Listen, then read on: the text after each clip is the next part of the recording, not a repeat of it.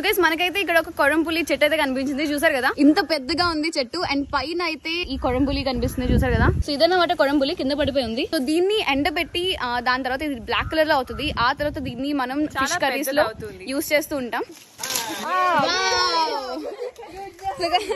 అయితే వావ్ కొడంపులి అయితే దొరికింది. ఓ వావ్ గైస్ వావ్ దీని అయితే మనం టేస్ట్ చేయొచ్చు అన్నమాట. సో ఒక్కొక్కరు ఒక్కొక్క తొడ తీసుకుని టేస్ట్ చేద్దాం.